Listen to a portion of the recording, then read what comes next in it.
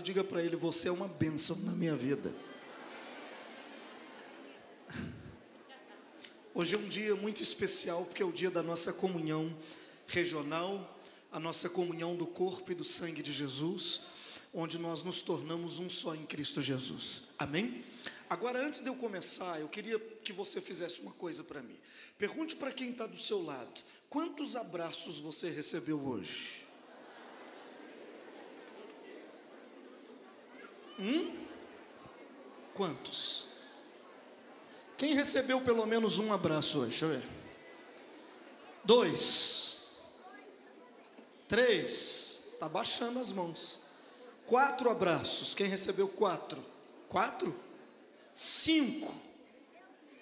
Opa, tá quase ninguém. Seis abraços. A senhora recebeu mais de seis? Dez?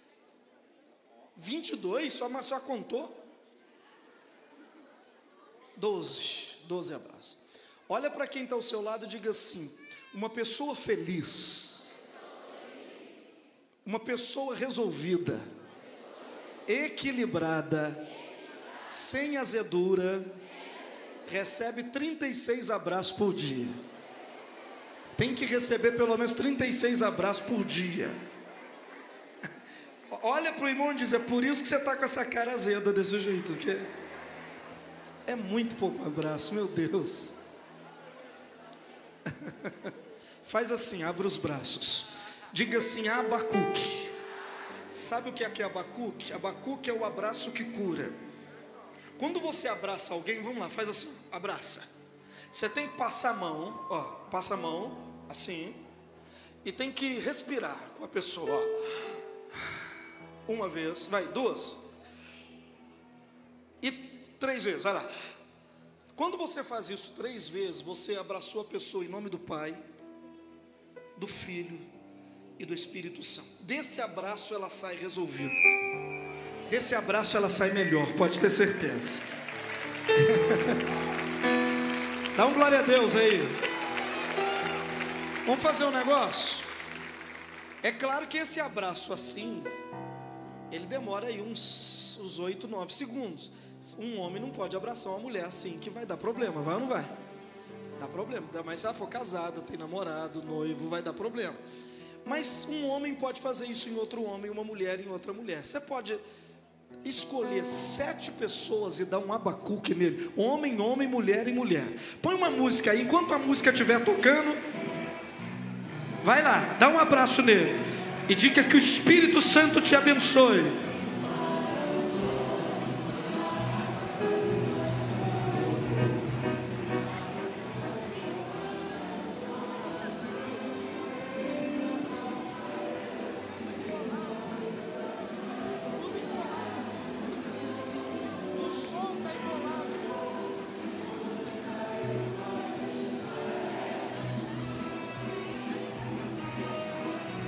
Dá um abraço gostoso, né? Ah, não, não é, é um abraço, tem que demorar uns oito segundos, pelo menos.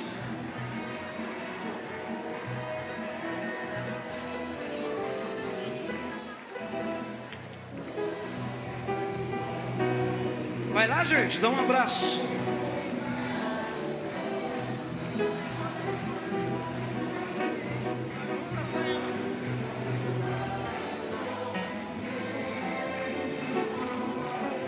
Amém, amém. Quantos abraços você recebeu? Quantos? Passou da média pelo menos? Passou da média pelo menos? Então agora dá a mão para essa pessoa que foi uma bênção na sua vida. Vamos orar e consagrar essa santa ceia nas mãos de Deus. Ah, o Espírito Santo vai fazer coisas maravilhosas aqui hoje. Eu quero ouvir você começando dando glória a Deus aonde você estiver, tá bom? Mas levanta a voz e vai dando glória a Deus. Você está em casa, você está na casa do Pai, vai dando glória, glória, glória. Nosso Deus e nosso Pai, nós entramos na Tua presença porque te amamos, Pai, e é um privilégio para cada um de nós estar aqui nessa noite. Eu lhe peço, Espírito Santo, abençoe a vida de cada pessoa, cada igreja, cada pastor aqui representado pelas suas igrejas, a igreja representando os seus pastores, cada pessoa que veio até aqui para glorificar o teu nome. Ó oh, Espírito Santo, nós te pedimos em nome do Senhor Jesus que seja uma noite de milagres, também de maravilhas, uma noite de cura, de avivamento, de renovação e de transformação. Eu não te ouvi dando glória a Deus, dá glória a Deus aí. Espírito Santo, eu te peço, renove a fé dessa pessoa, renove o entusiasmo, renova, meu Deus, a mente, os pensamentos, pois nós consagramos, sim, e entregamos todos em tuas mãos, para louvor e para a glória do teu santo nome, em nome de Jesus. Diga amém. Levanta as duas mãos e dê uma linda salva de palmas ao Senhor Jesus. Aleluias. Mais forte para o Senhor. Ele é digno de toda honra, de toda glória, de toda adoração. Levanta suas mãos. É uma noite muito linda, muito especial. A igreja reunida, o Espírito Santo presente. Diga para ele: seja bem-vindo, Espírito Santo, nesse lugar. Aleluias. Único que é digno de receber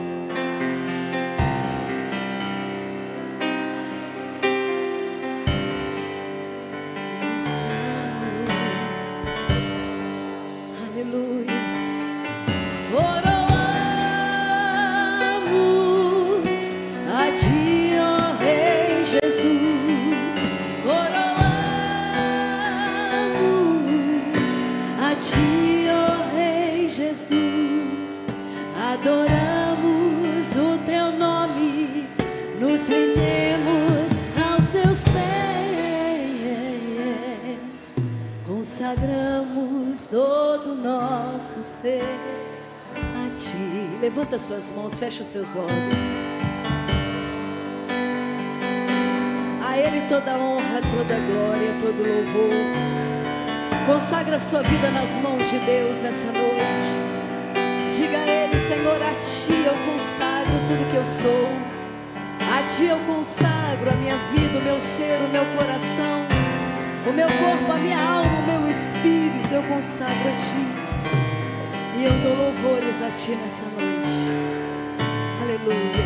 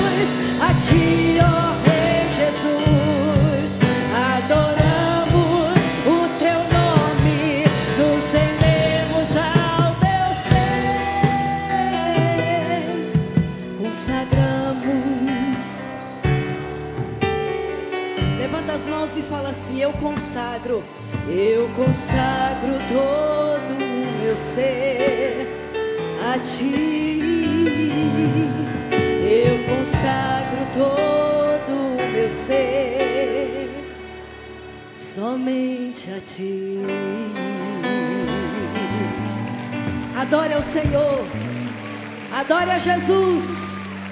Aleluia! Fala para quem está do seu lado assim: se Jesus não estivesse aqui, não seria do mesmo jeito.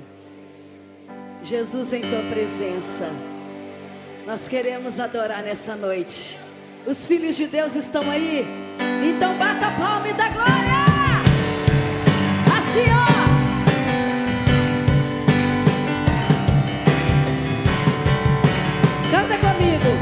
Jesus em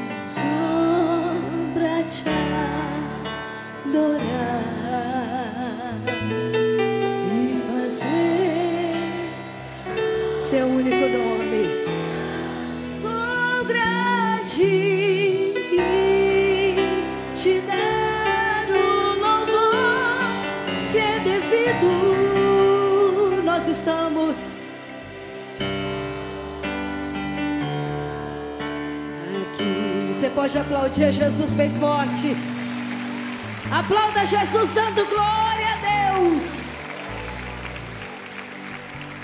Para isso a igreja se reúne, para que se manifeste o poder de Deus. E nós estamos esperando a volta do nosso Senhor Jesus Cristo. Quem está se preparando? Ainda estamos nessa terra, mas os nossos olhos estão lá no alto. Por isso nós estamos preparando as nossas vestes. E a nossa luz precisa continuar acesa. Levanta suas mãos. A sua luz precisa continuar. Nós somos a luz do mundo, o sal da terra.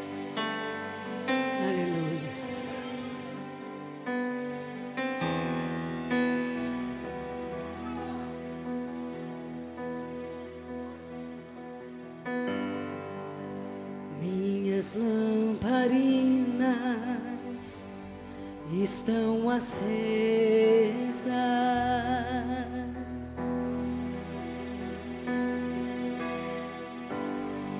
Só estou esperando o barulho dos teus passos em direção à porta. É só bater que eu vou abrir pra você entrar. É só bater que eu vou abrir pra você o quê? Aleluias. Eu já coloquei as vestes brancas. Estou só te esperando.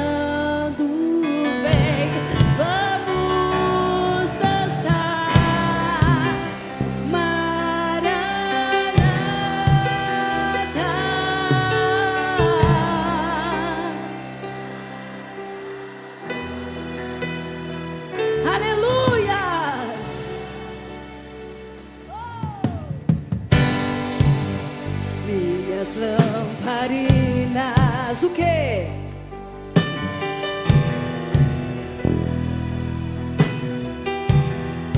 Aleluias! Só estou esperando o barulho dos seus passos em direção à porta. É só bater que eu vou você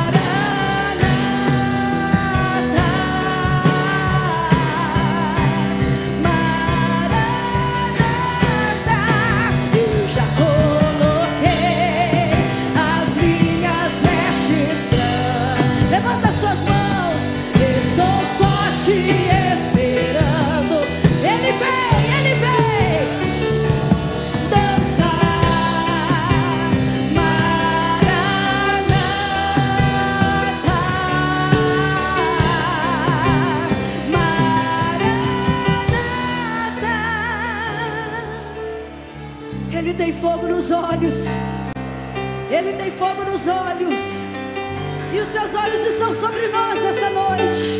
Levanta suas mãos e adore a Deus. Adore, adore, adore. Tem fogo nos olhos. Eu não imaginava que era lindo assim. Que era lindo assim. Meu noivo esperado. Eu casa.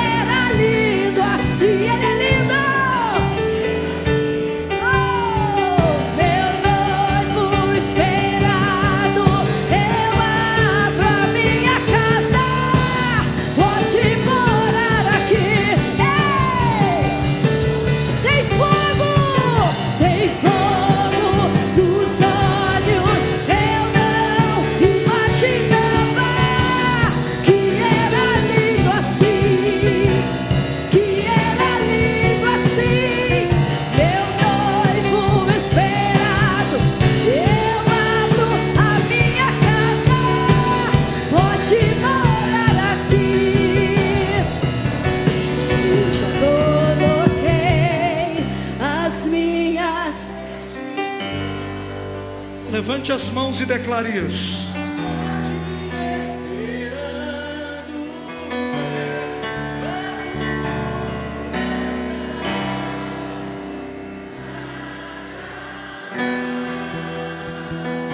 Mais uma vez, mais uma vez eu já coloquei.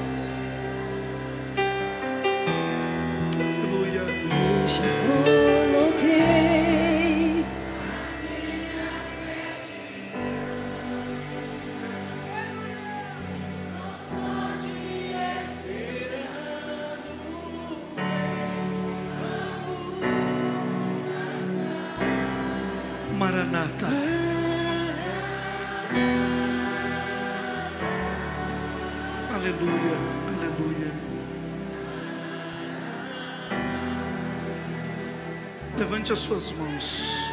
Quem aqui tem passado dias difíceis, faz assim, ó. Dias de provação, de luta, levanta a mão, faz assim, ó. Quem tem enfrentado lutas, lutas, provações, dificuldades na vida, levanta a mão.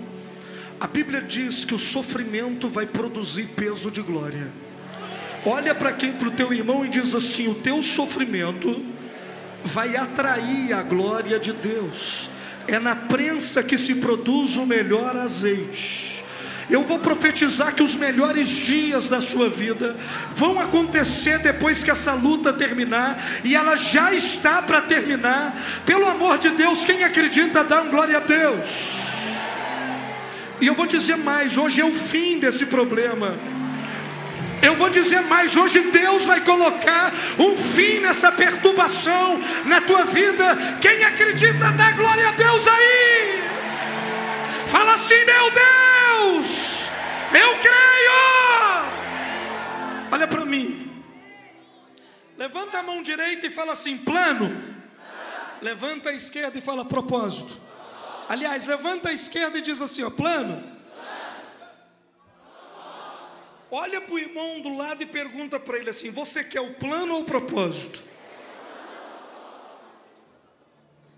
Deixa eu te mostrar uma coisa. Deus está te chamando para entrar no propósito dele aqui agora. Como assim, pastor? Não entendi. É dois minutos, olha para mim. Quando Moisés nasceu, ele nasceu para um propósito: libertar Israel da mão de Faraó. Qual é o propósito? Quando ele tinha cerca de 40 anos, o propósito começou a fluir, e quando ele viu um egípcio discutindo com um hebreu, ele foi lá e fez o quê? Matou o egípcio. Pergunta para o seu irmão: estava certo ou estava errado? Responde. Certo ou errado? Ele nasceu para isso, irmão. Na verdade, lá na frente ele matou foi muita gente. Quando o mar vermelho fechou, a Bíblia diz que todo o exército de Faraó foi sucumbido. Não foi um soldado, não, foi o exército inteiro. Quem está aí, dá um glória a Deus. Porque esse era o propósito. Diga para o seu irmão: esse era o propósito. Pega pesado e diga: esse era o propósito. Só que quando Moisés viu a eminência de ser preso e condenado à morte, porque ele tinha cumprido o propósito dele, o que, que ele faz? Um plano. O que, que ele faz? O plano dele foi o quê? Eu vou fugir e vou me esconder. E Moisés ficou 40 anos caminhando no plano dele. Os 40 anos que ele caminhou no plano dele, fez ele ficar velho, fraco, gago, débil, fugitivo, sem vontade de viver. Pergunta para mim por quê? Porque ele abandonou o propósito e foi caminhar onde? Nos planos dele. Nos planos dele ele foi enfraquecendo. Diz a Bíblia que ele era agora o homem mais manso da terra. Deus não queria um homem manso, Deus queria um, um libertador. Só que o plano foi fazendo ele ficar manso. Fala com o seu irmão, o seu plano está fazendo você ficar frouxo. Fala com ele, o seu plano está fazendo você ficar fraco. O seu plano está fazendo você ficar cego, fofoqueiro. Ai, ai, ai. Dá um glória a Deus aí. Aí, diga assim, aí. Depois de 40 anos, Moisés andando no plano dele, só enfraquecendo.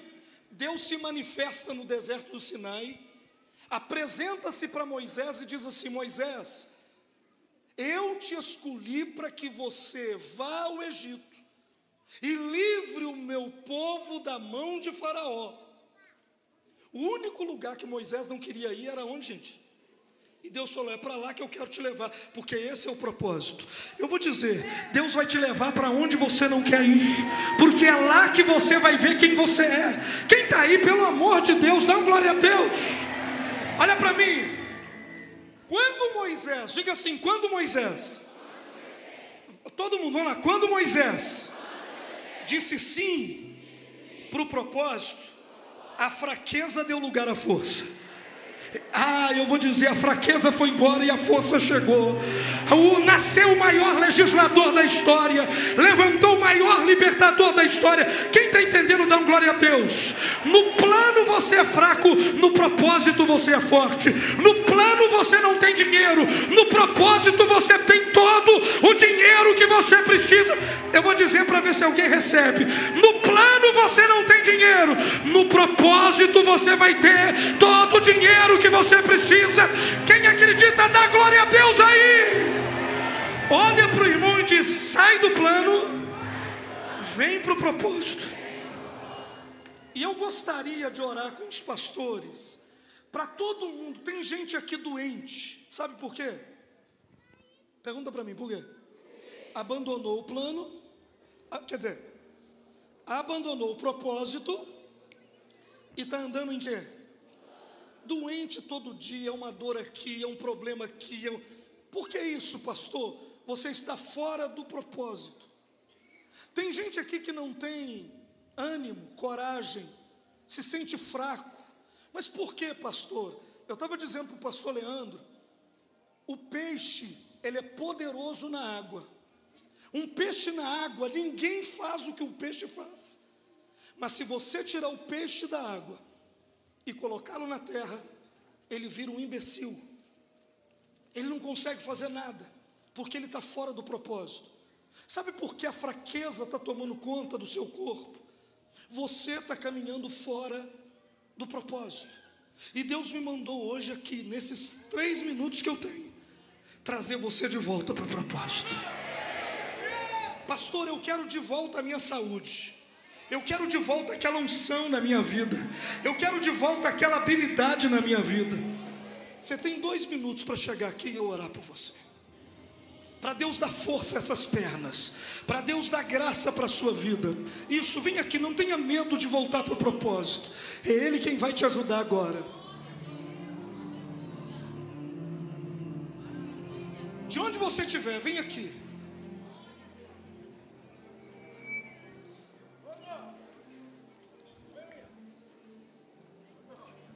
Olha para mim. Em dois minutos, a fraqueza vai dar lugar à força. Um minuto Moisés era um velho. No minuto seguinte, ele se transformou no homem mais importante que esse mundo já viu. Porque ele saiu do plano e veio para o propósito. Olha para o irmão do lado e diga: Você vai sair do plano agora e vai entrar no propósito. Ei, em dois minutos a doença vai cair no teu pé. Eu vou, não, vou dizer, mas em um minuto a dor que te aflige vai cair por terra, a depressão vai sair, o mal vai sair. Se acredita, dá um glória a Deus. Então levanta as mãos e comece a só glorificar para receber o que Deus tem para você. Você vai receber agora os pastores, vão me ajudar a impor as mãos, os obreiros. Ai, Deus vai fazer milagres. Meu Deus e meu Pai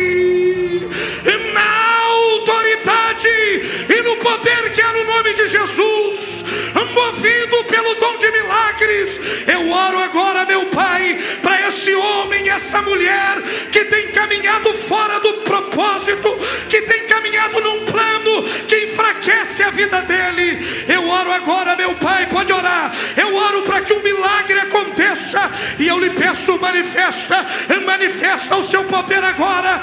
Toca da planta dos pés ao alto da cabeça essa pessoa que está enfrentando uma enfermidade física, orgânica, microbiana, bacteriana, espiritual. Eu me levanto na autoridade e no poder do nome de Jesus. Recebe, recebe, recebe, em nome de Jesus. Recebe o toque divino agora sobre a sua vida. Que Deus te tire dos planos e te leve para o propósito, e que o propósito revele um milagre na sua vida. receba nessa noite, receba nessa noite, receba a cura, receba a cura agora. Sinta a cura divina agora, descendo do alto da cabeça, a planta dos seus pés, penetrando entre a carne, a pele, os ossos, organismos, os órgãos internos. Recebe o seu milagre agora, recebe o seu milagre agora. Fica livre da dor, fica livre do problema, fica livre da dificuldade, fica livre do mal agora, Nós estamos orando agora e clamando pela vitória deste povo. Meu Deus, aonde estiver uma enfermidade, aonde estiver uma doença crônica, aonde estiver uma doença, meu Pai amado, prejudicando o andar, o falar, o viver dessa pessoa, nós estamos clamando agora, meu Pai, mata agora essa doença no nome do Senhor Jesus Cristo. Mata agora, meu Pai, toda doença, toda enfermidade, na autoridade, no poder que há no nome. Pai, toca agora na pele, na carne, nos ossos, nos nervos, no organismo, aonde houver o mal agora.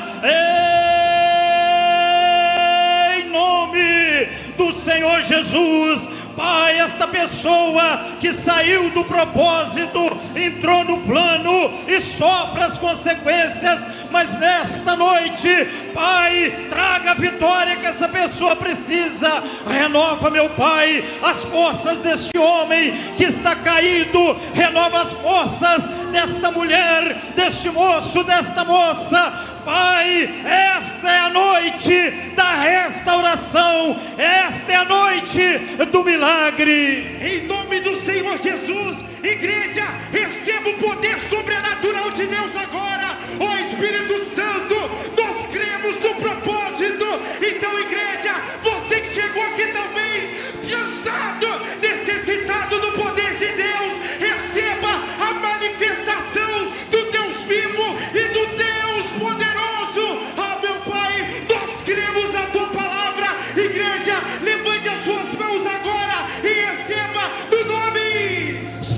meu Deus e meu Pai, penetra na carne, no nervo, nos ossos, ó oh, Espírito de milagres, entra dentro desta pessoa agora, começa a arrancar o caroço, começa a arrancar o mioma, começa a arrancar o cisto, começa a tirar, Senhor, essa dor de cabeça com hora marcada, esta pessoa, meu Pai, que teve um diagnóstico ruim, um exame ruim, meu Deus e meu Pai, entra com poder agora, meu Pai. Ó Deus, nós cremos, revestido da autoridade do nome de Jesus, dado a fundadora Aide desta igreja. Ó Deus, nós cremos, receba a cura, receba a cura. Se tem alguém aqui, meu Pai, que está doente, vítima de macumba, feitiçaria, olho gordo, inveja. Se alguém, meu Pai, ó Deus, está sendo atacado por um demônio de enfermidade, em nome de Jesus Cristo.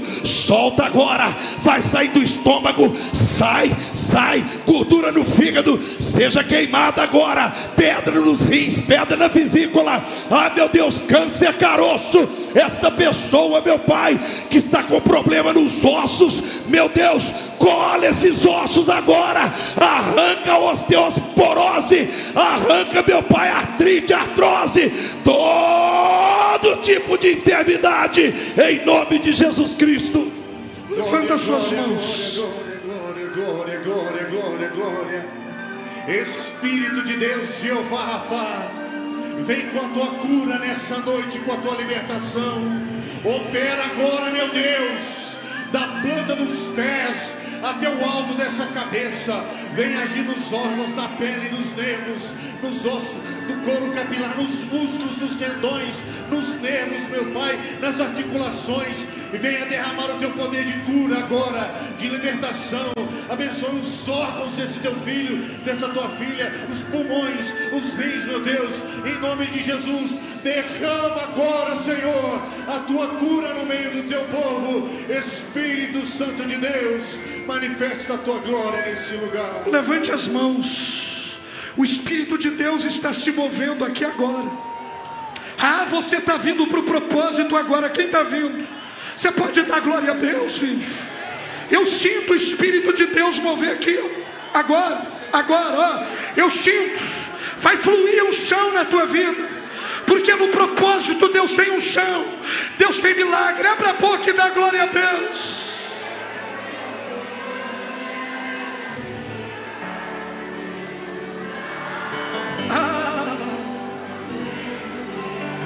Chegou a minha vez.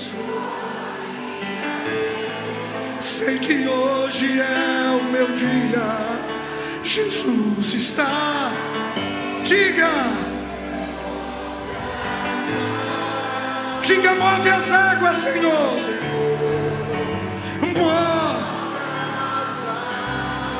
Move. O teu poder, Senhor. Vou mergulhar. Minha vida.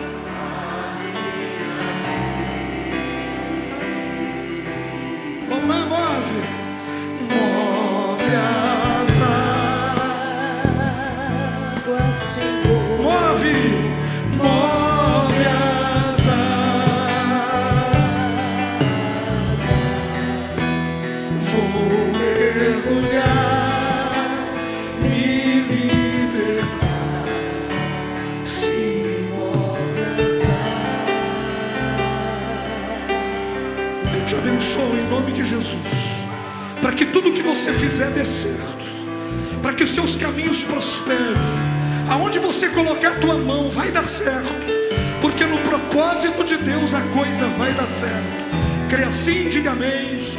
Volta para o seu lugar agradecendo. Volta cantando, né? Move as águas, vai. Move as águas.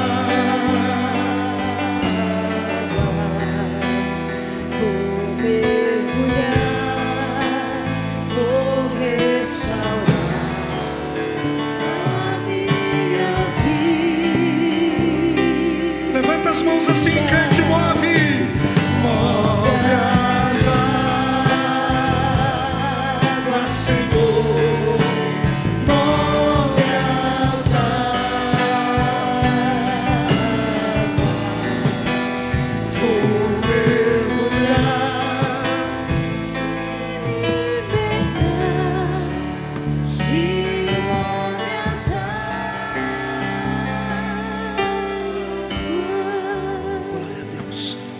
aplaudir Jesus bem forte. Aplauda dando um glória a Deus bem bonito.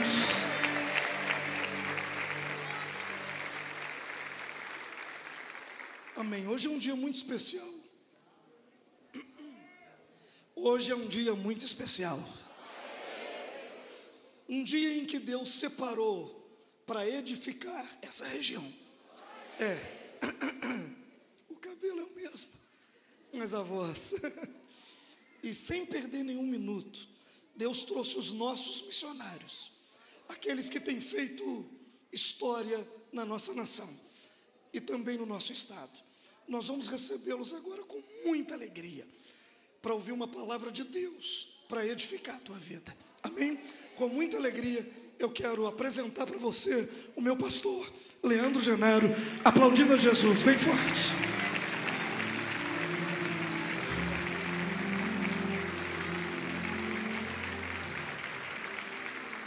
Glória a Deus. Boa noite. Paz seja convosco. Irmãos, que alegria estar aqui hoje.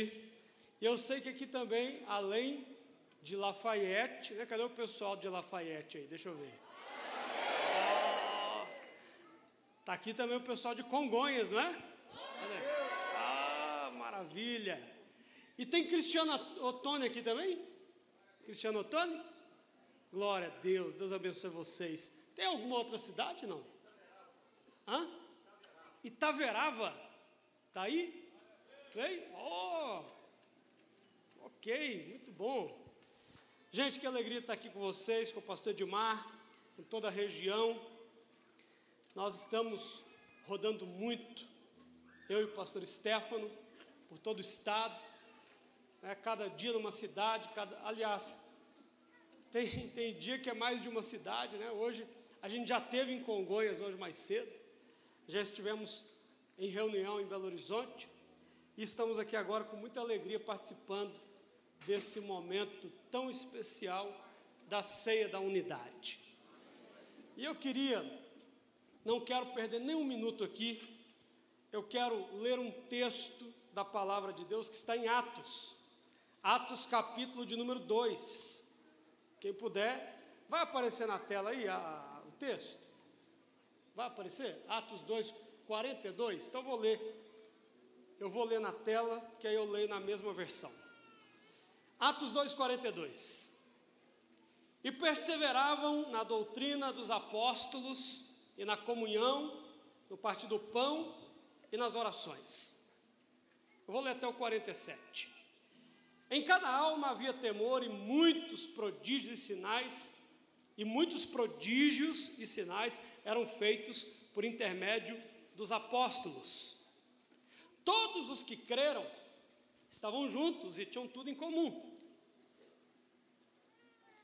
Vendiam as suas propriedades e bens, distribuindo o produto entre todos, à medida que alguém tinha necessidade.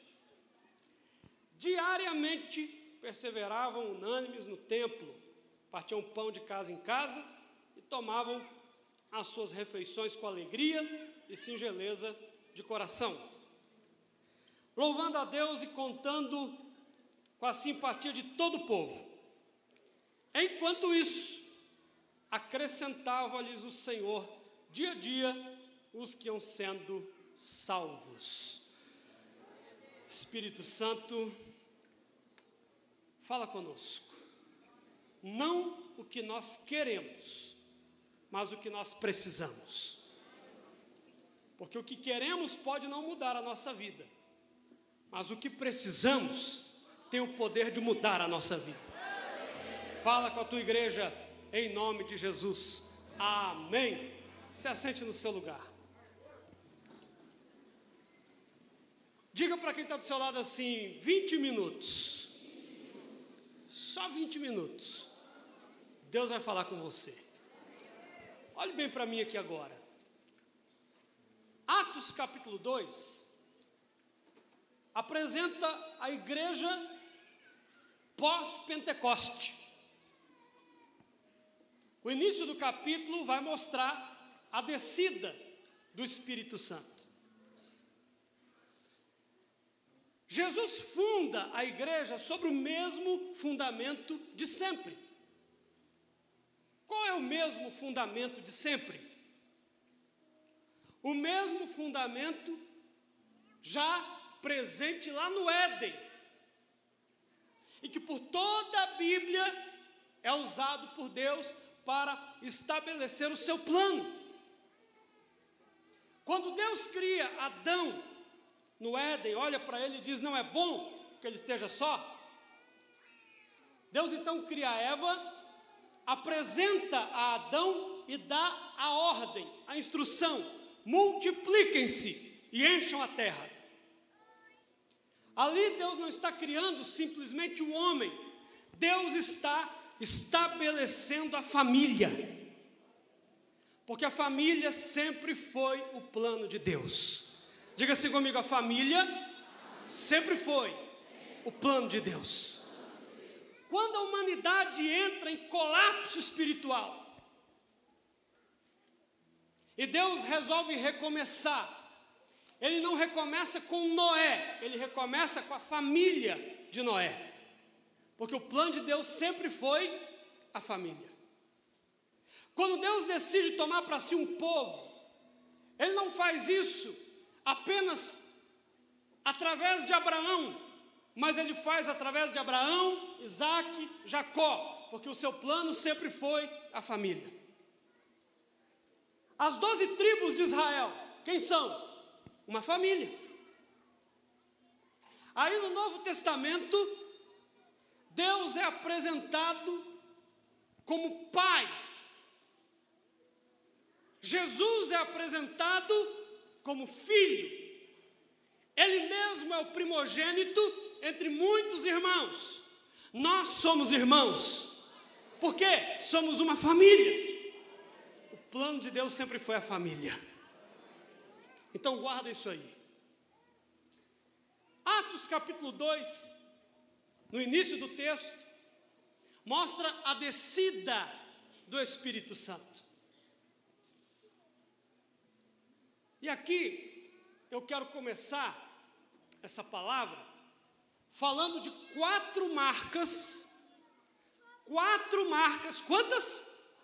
quatro marcas de uma igreja que vence, que cresce, que rompe, que avança. Quatro. Sabe o que significa isso aqui, ó? Diga assim comigo várias coisas.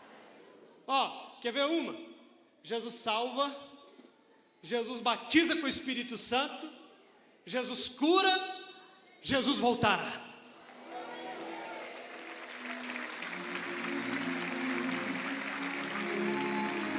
Escuta, quer ver outra? O que significa isso aqui? Setembro, outubro, novembro e dezembro. Recebe aí, serão os melhores quatro meses do ano de 2022. Os melhores quatro meses de 2022. E se serão os melhores quatro meses, tem mais uma coisa que isso aqui significa. Eu ganhando mais três almas até dia 31 de dezembro. Diga assim comigo, ó. Eu ganhando mais três almas até dia 31 de dezembro.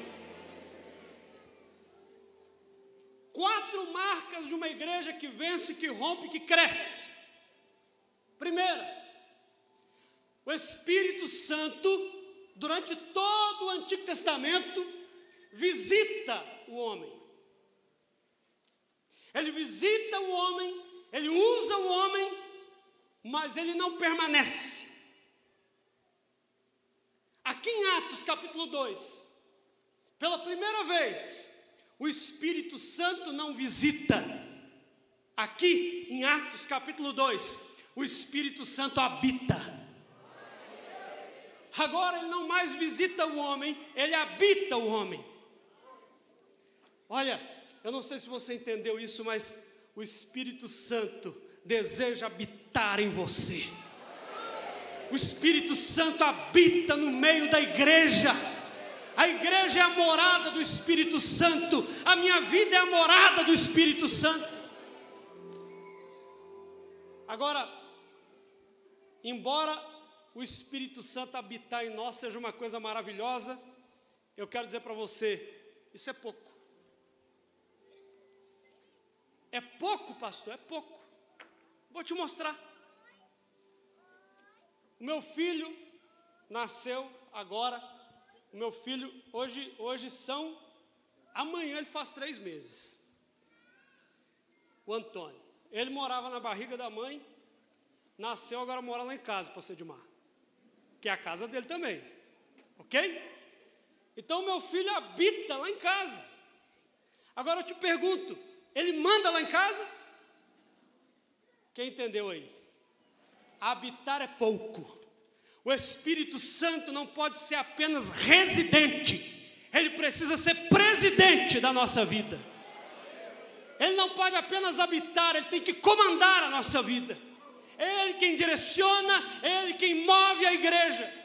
Essa é a primeira marca de uma igreja que cresce, que rompe, que avança. Ela é habitada e comandada pelo Espírito Santo. Comandante da igreja é o Espírito Santo. Segunda marca de uma igreja que cresce, que avança, que rompe, Está no versículo 42. Aliás, no 42 tem pelo menos quatro marcas. Vou falar só uma. E perseveravam na doutrina. Diga comigo, perseveravam na doutrina. Marca de uma igreja que cresce, que avança, que rompe. Ela persevera na doutrina. E doutrina não é roupa, doutrina não é cabelo penteado, doutrina não é aquilo que eu vejo ou deixo de ver, escuto ou deixo de escutar. Trabalhou lá em casa um senhor que era de uma dessas igrejas que dizem que nós não temos doutrina.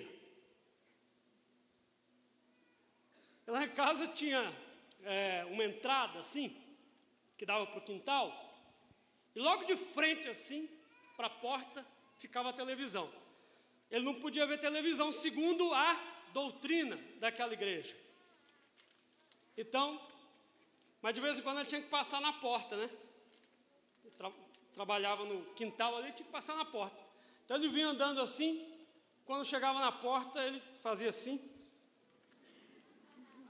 e continuava. Mas de vez em quando eu pegava ele assim, dando uma espiadinha, principalmente quando era futebol.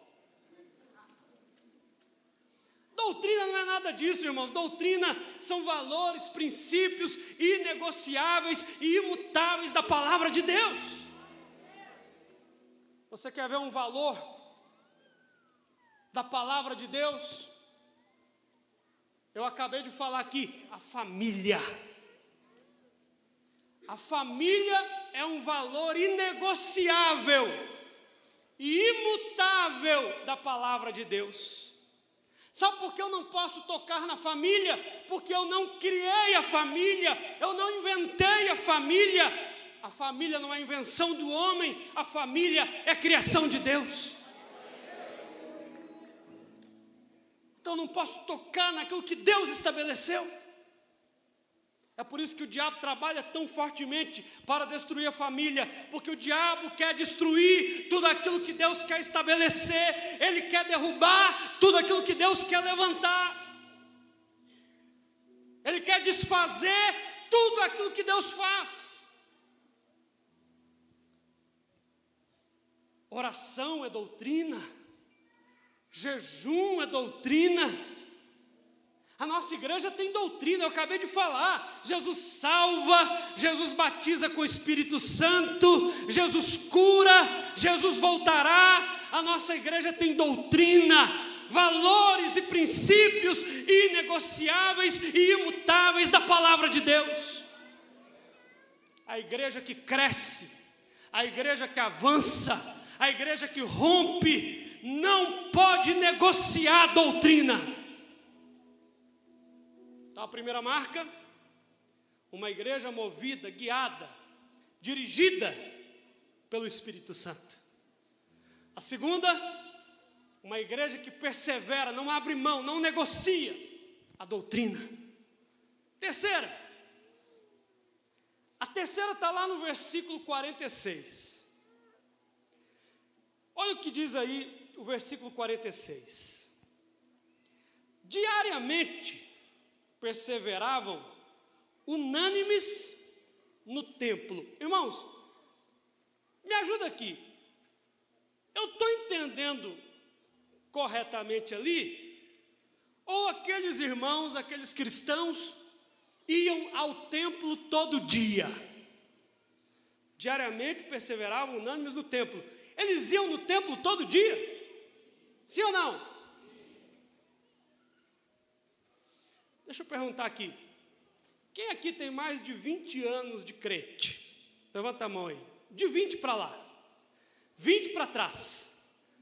Então quem levantou a mão aí vai lembrar da época em que a gente vinha na igreja todo dia. Não é? Todo dia, irmãos, eu nunca toquei nem cantei, mas eu ia no ensaio do louvor. Porque eu queria estar na igreja. Eu ia com a minha mãe para vigília, era criança. Dormia a noite inteira, mas estava lá. Que criança não atrapalha, não, irmãos. É um erro achar que criança atrapalha, criança não atrapalha. Olha, lá na igreja do meu pai era segunda-feira, grupo de homens, mulheres, a gente estava lá. Não sei o que, que eu ia fazer lá, mas eu ia. Era jovem, adolescente, eu ia. Terça-feira, ensaio. Quarta-feira, corrente das sete orações. Quinta-feira, mais ensaio, eu ia também. A gente queria estar na igreja. Sexta, culto de libertação. Sábado, culto de jovens. Domingo, escola bíblica de manhã. Culto à noite. E a gente estava lá. Todo dia. Naquela época, a gente olhava torto para quem só ia na igreja domingo. Ela não é verdade? Esse irmão aí está pensando o quê? Ele não sabe nada que acontece aqui, ele só vem aqui domingo. Era esse o comentário. Era o domingueiro. Esse irmão é domingueiro. Todo domingo ele estava lá. Mas começou a ir domingo. Agora, irmãos, os pastores faltam premiar quem vem na igreja só domingo, mas vem domingo. Aliás, eu não sei, né? Talvez isso é só lá em Belo Horizonte. Talvez aqui não tenha esse tipo que só vem domingo. Ou que mal, mal vem domingo. A régua, ó, a régua desceu. Naquela época era o domingueiro, hoje é o ceieiro.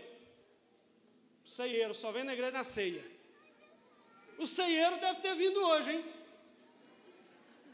O ceieiro deve ter vindo hoje. Vou aproveitar e mandar um recado aí, porque eu também eu não sei se isso tem aqui em Lafayette, Congonhas, Cristiano Ottoni, mas lá em BH, quando tem um evento assim, tem alguns irmãos que, que raciocinam, já fui na igreja essa semana. E aí não aparece domingo, não aparece quarta. Irmãos, a régua estava lá em cima, ó, há anos atrás, e hoje ela está aqui embaixo. Mas aquela igreja era uma igreja assídua, frequente e fiel no templo. Eu não sei se está transmitindo esse culto aqui, tá? Esse aqui tá, tá? Eu costumo dizer lá na igreja o seguinte: vou falar para quem está na transmissão aí. Culto online não pode ser comodidade, culto online é necessidade. Porque estar no templo é algo insubstituível. Aqui é o nosso lugar de comunhão. Aqui é o nosso lugar de cura, aqui é o nosso lugar de adoração, aqui é o nosso lugar de receber a palavra de Deus. Não podemos negociar a nossa presença no templo. Quem está entendendo, diga amém. Aquela igreja crescia porque ela tinha compromisso com o templo. Mas quarto, para terminar, também está no versículo 46 eles comiam ou tomavam as suas refeições com alegria. Diga assim comigo: alegria. alegria. Dá uma olhada, vê se tem alegria do seu lado aí. Vê se tem um sorriso aí do seu lado. Dá uma olhada. Porque é marca do crente, cheio do Espírito Santo, a alegria. Eu vou começar e você termina. Um coração alegre. Não, não. Vamos fazer melhor. Um coração alegre. Irmãos, a Bíblia tem solução para tudo, né? Até para cara feia. Um coração alegre torna o rosto bonito. Isso é verdade. Quer ver? Pensa numa pessoa feia que você conhece. Não, pastor, para Deus todo mundo é bonito. Para Deus. Para Deus. Agora falando sério. Não é verdade que tem pessoas que fisicamente a pessoa é feia. Mas ela é tão cheia de vida. Ela é tão cheia de alegria. Ela é tão cheia de entusiasmo e da presença de Deus que ela fica linda. E o contrário é verdade. Tem aquela pessoa que de longe ela é linda, mas quando você aproxima é tanta amargura, incredulidade, indiferença, que é uma pessoa horrível. Então, um coração cheio da alegria do céu traz beleza para a nossa vida. Eu começo e você termina. A alegria do Senhor é a nossa Está fraco. A alegria do Senhor é a nossa. Ah, melhorou. Força. Diz a palavra, diga ao fraco. Deixa eu falar certo aqui, porque eu já vi pastor pregando errado. Não é diga ao fraco eu sou forte. Se você disser para o fraco eu sou forte, você acaba de arrebentar o fraco. É diga, diga ao fraco, quem está sentindo fraco, tem que dizer, eu sou forte. Então vou dizer assim: diga ao fraco e você vai dizer, eu sou forte. Diga ao fraco, diga ao fraco, diga ao fraco, eu sou forte. Eu sou forte.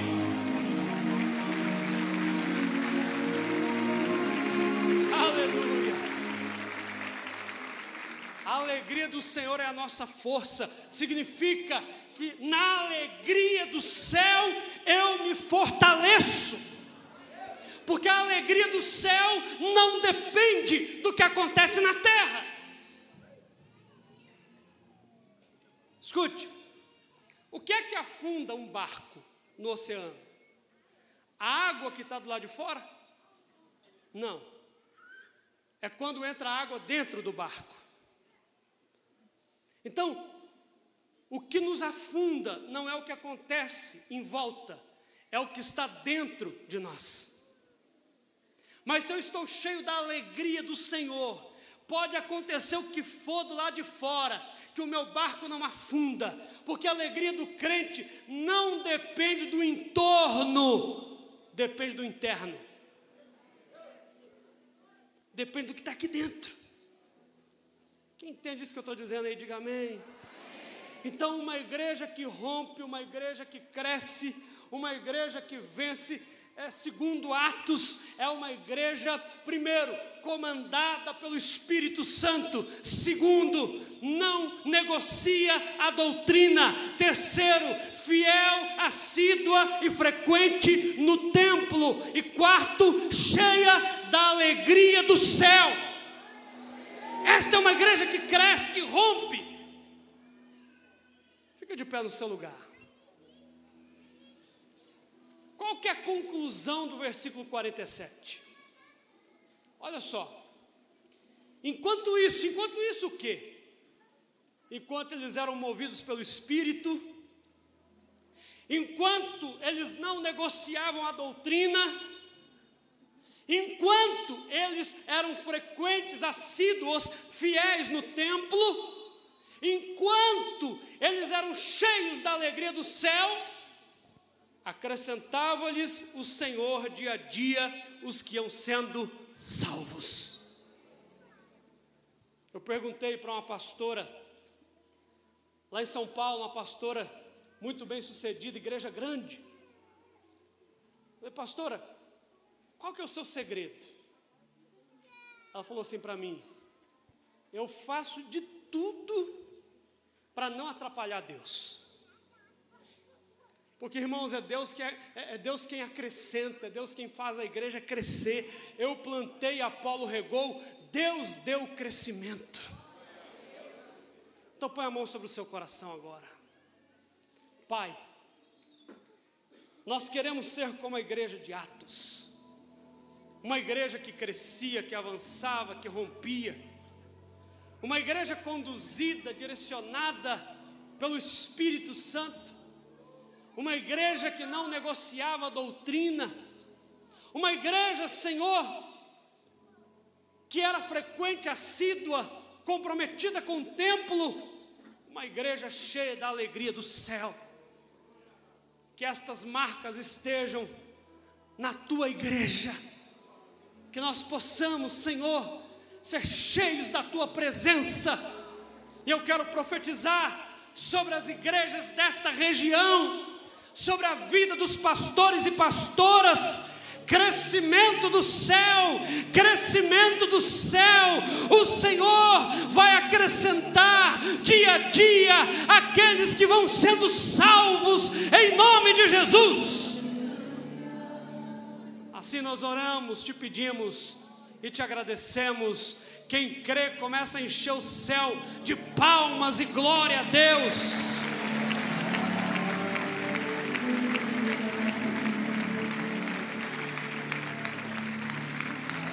Glória a Deus. Aplauda bem forte, gente. Essa igreja vai crescer em alegria, em número e no poder do Espírito Santo. Acreditam assim? Diga amém. Abençoados, mas ainda tem mais. Cabe mais aí? Com muita alegria, nós vamos receber agora o nosso pastor querido, também missionário lá em Brasília, que tem feito coisas extraordinárias pelo reino de Deus e hoje está aqui para falar desse reino, pastor Stefano Aguiar. Vamos aplaudir Jesus bem forte.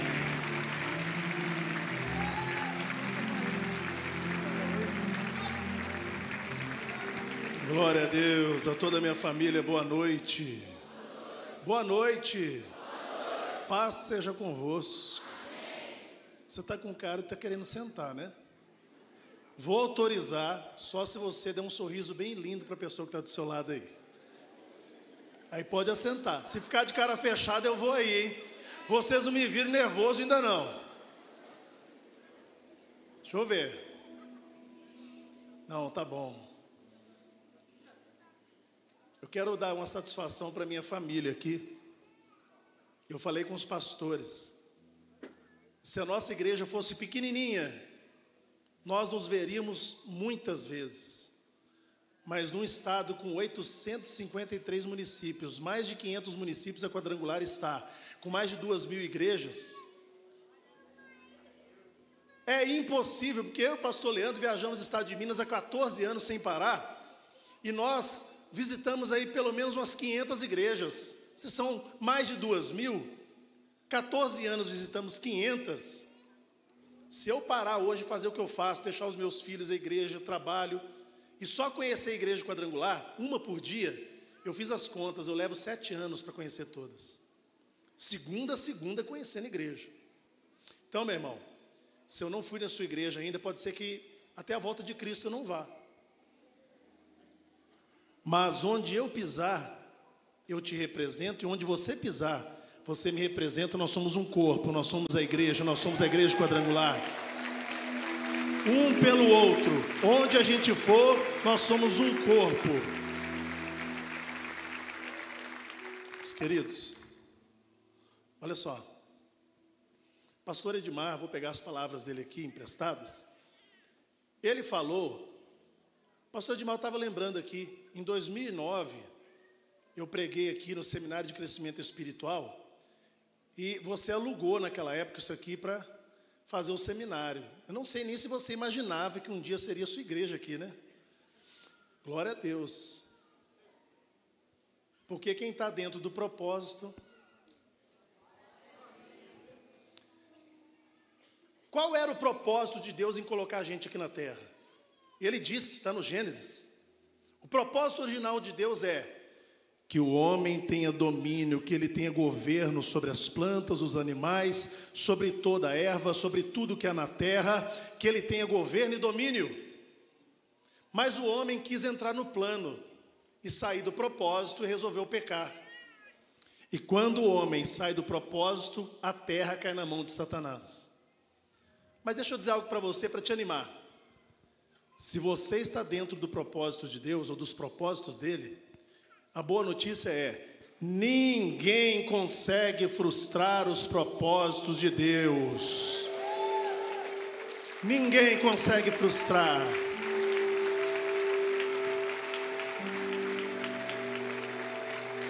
Temporariamente o diabo tenta frustrar você, mas ele sabe que no fim ele vai acabar mal e sempre o propósito de Deus prevalecerá.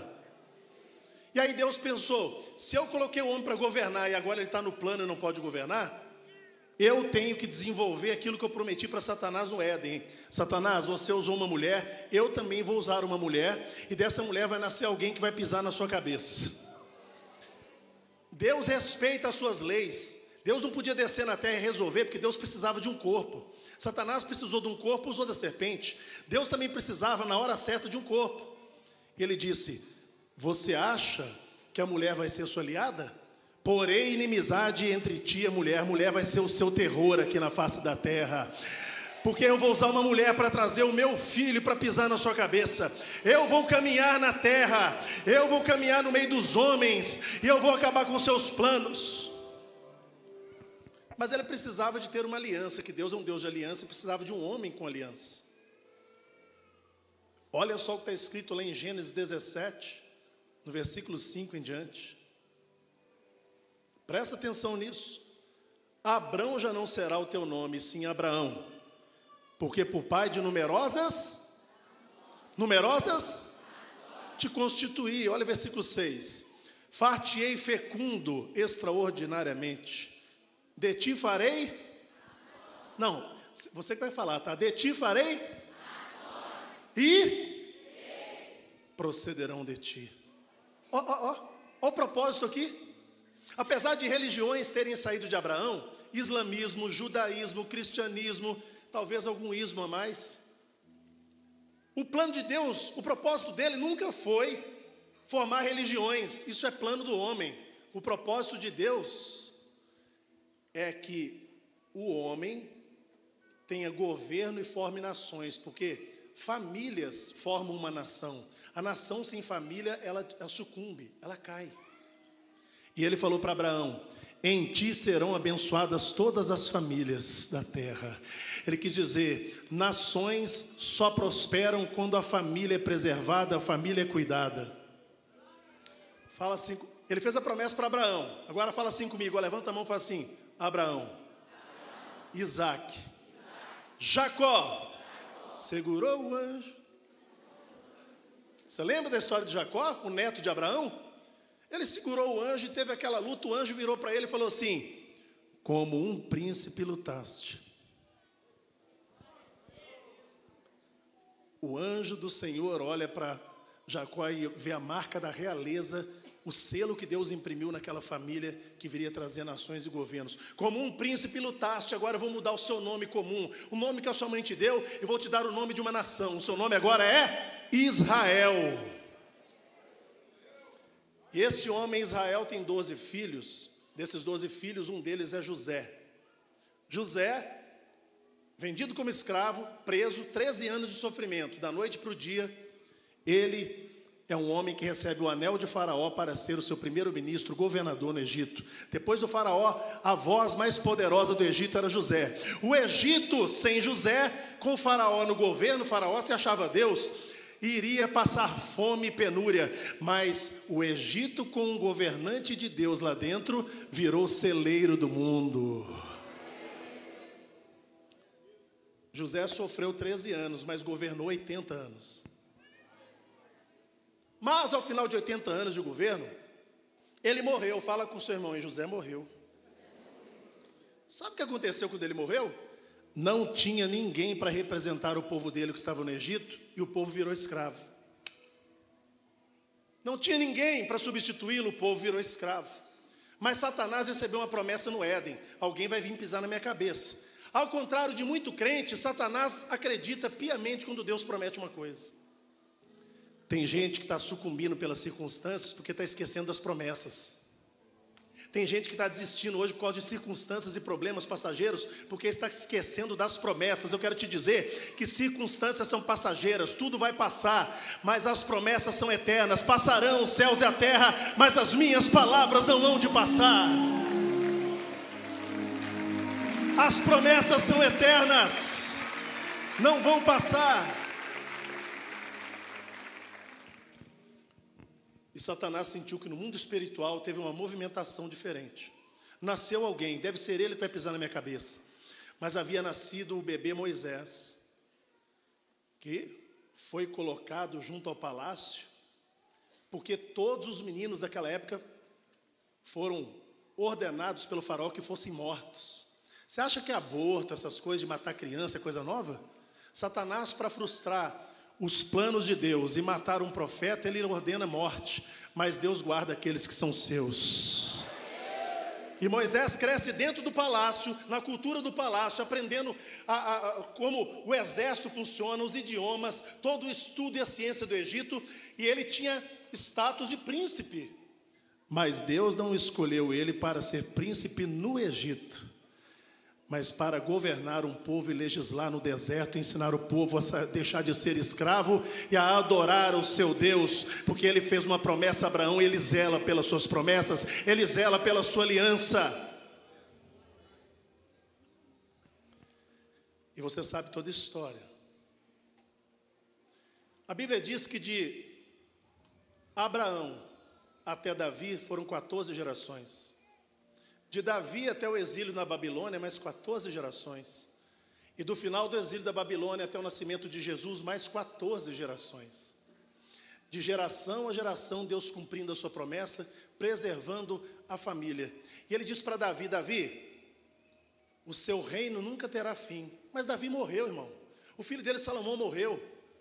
Agora eu quero que você entenda. Alguém um dia ficou sabendo que Jesus estava passando pelas ruas e ele gritou: Filho de Davi, tem misericórdia de mim. Davi parou, Jesus parou. Opa, alguém aqui entende o propósito. Alguém aqui entende quem eu sou. Alguém entende de onde eu vim. Alguém entende do plano do meu pai. Deixa eu parar porque eu tenho que curar esse homem. Eu tenho que estar do lado dele. Ele entendeu o propósito do meu pai de levantar nações e governos e o reino de Davi que não terá fim, porque Jesus era descendente de Davi e o governo de Jesus nunca terá fim. É a descendência de Davi. Irmãos, vocês vão ficar assustados que eu vou contar, porque eu sei que isso não existe aqui. Mas existe em algumas igrejas por aí. E olha, vou contar, falar bem baixinho. Só para você ouvir aí. Você acredita que tem membro de igreja, às vezes até pastor por aí, que não aceita política na igreja?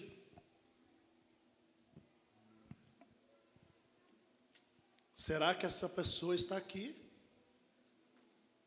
É você, Satanás. Lembra da bruxa de 71?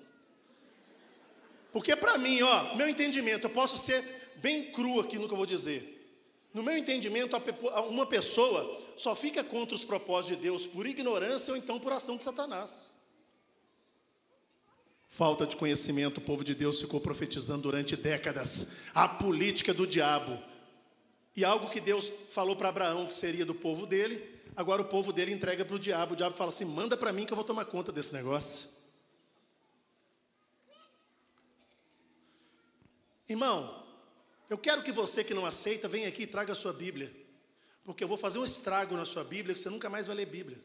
Porque os cinco primeiros livros da sua Bíblia foram escritos pelo grande legislador que governou e legislou no deserto, chamado Moisés.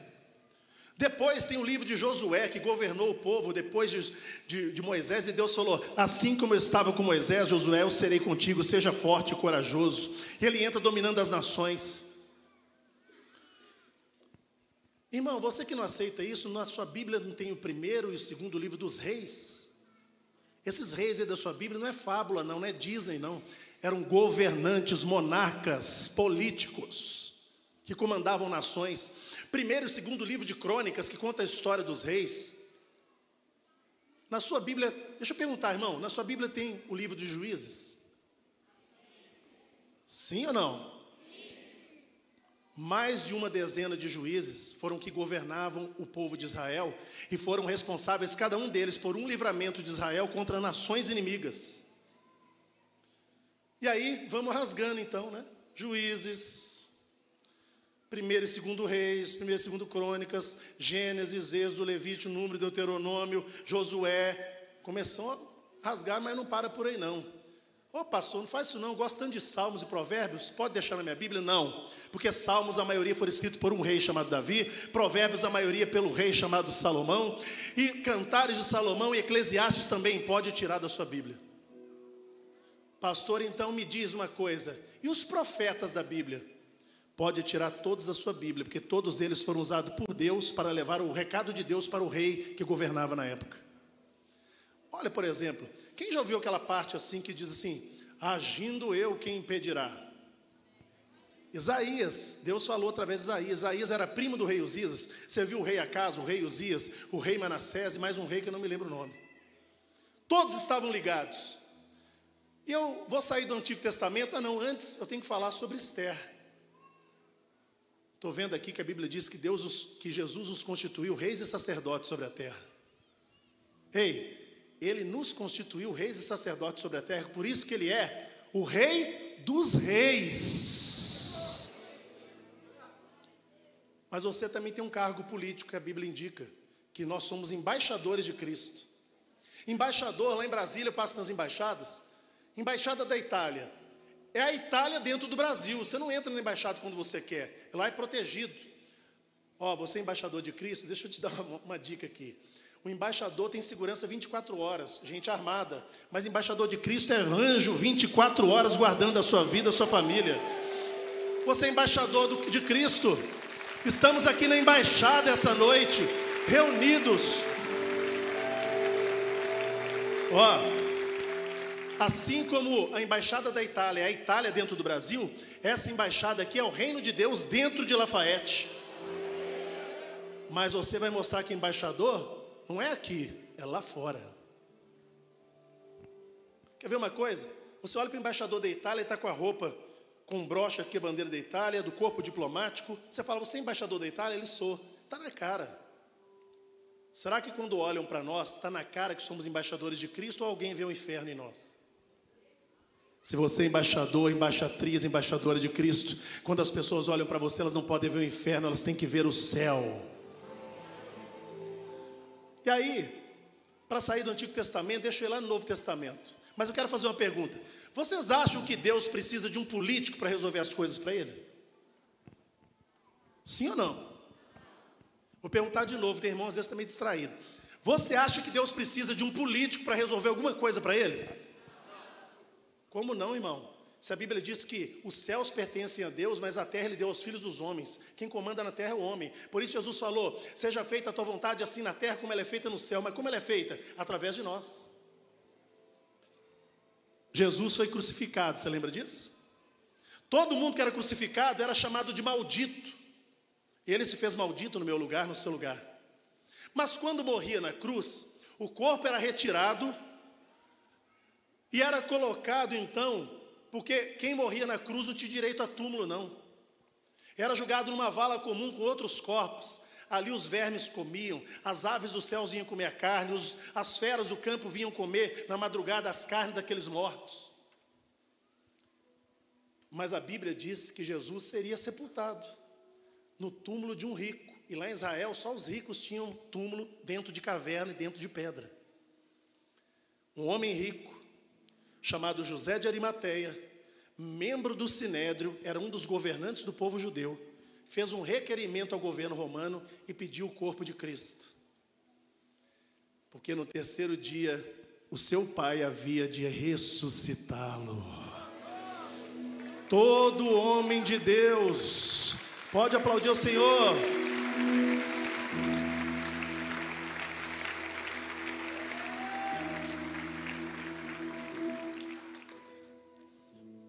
Todo político de Deus protege o corpo de Cristo. Luta pelo corpo de Cristo, representa o corpo de Cristo. Quem está me entendendo aí?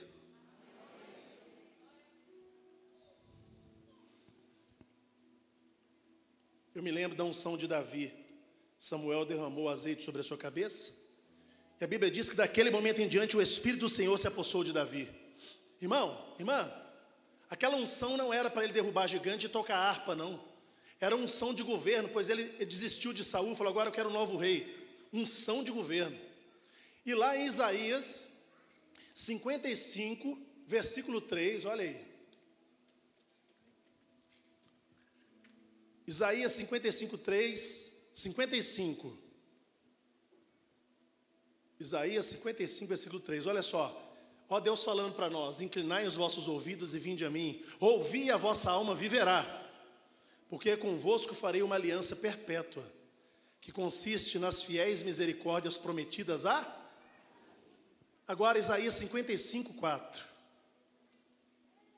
Eis que eu o dei por testemunho aos povos, como príncipe e governador dos povos. Inclinai os vossos ouvidos a mim, a vossa alma viverá, e eu vou dar para vocês as bênçãos que eu dei a Davi. Eu dei bênção de governo para ele, e vou dar bênção de governo para a igreja. Um menino nasceu e a Bíblia diz que o governo está sobre os seus ombros. Nós somos o corpo de Cristo, Ele é o cabeça. Se eu sou o corpo, o governo tem que estar sobre mim.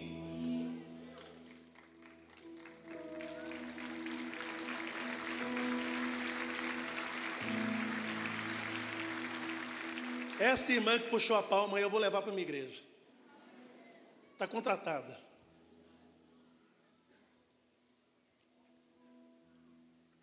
Será que Deus unge homens ainda para governar? Samuel foi autorizar Davi. Fala assim comigo: ungir é autorizar. Deus precisou mandar ele lá para ungir, para autorizar Davi para governar. Hoje Deus não vai mandar Samuel para ungir eu, pastor Leandro e outros não. Olha para essa sua mão ungida aí. A sua mão autoriza quem governa sobre você.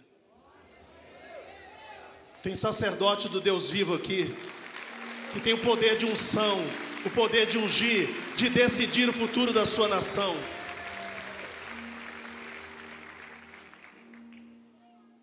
E aí eu quero contar, ó, irmão, presta atenção para terminar. Tenho muitas vitórias para contar aqui, mas vai ficar muito tempo falando isso para você. Mas tem uma vitória que eu e pastor Leandro temos em comum, que foi muito forte. Se fosse combinado, não dava tão certo. Você vê que é plano, é propósito de Deus, não é plano, é propósito. Em 2014, eu fui colocado às pressas na Comissão Especial do Plano Nacional de Educação, PNE. O que, que é isso? É o que decide o que vai acontecer nos próximos 10 anos na educação do Brasil. Fala comigo, 10 anos. Gente, 10 anos é muita coisa. Se, se tiver coisa, porcaria nesse plano aí, você vai aguentar porcaria 10 anos de educação. Só que eu não fui colocado no começo.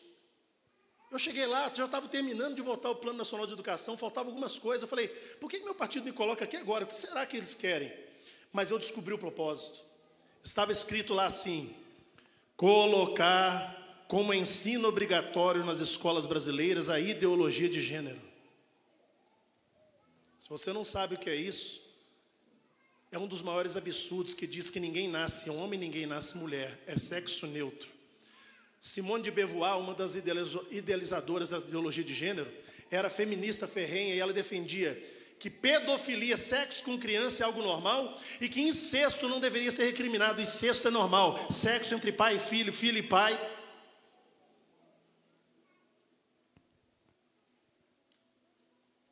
E aí, porque tudo que é decidido na comissão, irmão, vai para o plenário ser votado. Mas se você tirar o lixo na comissão, já vai limpinho no plenário para ser votado por 513 deputados. Então, por 15 votos a 11, olha só, 15 votos a 11, nós aprovamos o Plano Nacional de Educação, retirando a ideologia de gênero do Plano Nacional de Educação. Olha essa foto aí, olha essa foto aí. Essa foto é o momento da comemoração. Olha isso, eu vou te contar aqui. Algum iluminado tirou essa foto, nem sei quem tirou, me mandou. Eu estava na Santa Ceia, dia 3 de agosto, em Brasília, o presidente estava lá. Eu falei, presidente, eu tenho uma foto aqui que você não tem. Quando eu mostrei para ele, ele ficou doido. Ele era deputado comigo na época, estava na comissão também. Do lado dele ali tem um pastor da Assembleia de Deus. Esse aqui batendo palma é da Universal. É aquele ali da Assembleia de Deus. Sabe por quê, irmãos? A Assembleia de Deus tem que estar lá. A Igreja Batista tem que estar lá. A Igreja Pentecostal tem que estar lá. A Igreja Mundial do Poder de Deus tem que estar lá. A Igreja Universal tem que estar lá. Mas a quadrangular já está lá e vai continuar lá. Olha lá. Irmã, eu não sei o seu nome não, mas você fica bem de gravata preta lá. Ali não é o Stefano não, ali é a quadrangular que está ali. E aí, 2014, anota para você pesquisar. Lei 13.005 de 2014, 13.005, Plano Nacional de Educação. 2015 veio para o Estado. Eles falaram assim: já que não podemos passar aqui, vamos passar no Estado e nos municípios. Aí eles mandaram, nos municípios onde a gente tinha vereador, a gente mandava instruir o vereador, ele ia lá, fazia um estrago, porque os vereadores não sabiam do que se tratava e não passava. Onde não tinha vereador, conversava com o superintendente, com o pastor, descia a igreja inteira lá, fazia um barulho, assustava os vereadores e não aprovava também. Eu e o pastor Leandro participamos de debates, Belo Horizonte, Contagem, com várias professoras. Irmão, olha prof... o nível das professoras que nós temos. Elas começavam a fazer argumento defendendo ideologia de gênero, a gente quebrava elas na, no argumento. Chegou uma hora que umas começaram a levantar, arrancar cabelo e gritar, xingar palavrão. E eu e o Leandro lá, pleno, tranquilo, só no argumento. Mas são pessoas cegas. Só que o plano estadual de educação foi para a Assembleia e era para ser votado em 2015. Presta atenção, olha que, olha que coisa impressionante. Ficou três anos sendo votado, um passo aqui, um passo ali, por quê? Toda vez que eles queriam colocar ideologia de gênero, a bancada evangélica lá, travava tudo. Vamos engavetar e deixa para outro dia. Durou três anos isso. Mas em 2018, foram votar o plano estadual de educação e a presidente da comissão, que era evangélica, uma deputada, teve que, teve que suspender a sessão porque deu um empate. Só tinha quatro deputados lá. Dois eram favoráveis à ideologia de gênero e dois evangélicos lá contra. Comissão é assim, tem um titular, fala comigo, titular e suplente. É igual o titular que está jogando futebol e o reserva. O suplente é o reserva, ele só vai julgar se o titular sair para ele entrar. Dois a dois, a deputada falou assim: liga para o deputado aí, que é titular aí, para ele vir aqui desempatar. Ligaram para ele, falei, Ih, eu estou longe da Assembleia. Não dá para eu ir aí, não, vocês vão ter que se arrumar aí. Aí, de repente, a presidente da comissão perguntou assim: quem é o suplente desse deputado? Eu corto meu pescoço, mas não falo quem é. O suplente. O suplente, então ligaram para o suplente. Mas se ele não tivesse em Belo Horizonte, também já era hora que liga para ele, deputado, Leandro, onde você está? Estou virando a esquina da Assembleia, corre aqui, porque está sendo votado o plano estadual de educação, está dois a dois, vamos fechar o plano tirar a ideologia de gênero, e você é o voto que vai decidir. Ele foi correndo lá. E quando ele sentou na mesa para dar o voto dele, dois deputados da esquerda caíram em cima dele. Esse pessoal, irmão, nós temos que aprender com eles, são insistentes caíram em cima dele, e está ali a foto do momento, registrado a lei. Uma deputada do PT, um deputado do PT e tal, aquela coisa, porque a ideologia do partido, foram contra ele, tentando modificar a cabeça dele, pela cara dele, ele está falando assim: nananina não. Eu sou a quadrangular aqui, vocês estão perdidos, eu sou o terror de vocês. E por 3 a 2, o plano estadual de educação foi aprovado sem ideologia de gênero, porque Deus coloca aqueles que Ele quer no momento certo, na hora certa. Você se lembra de Esther?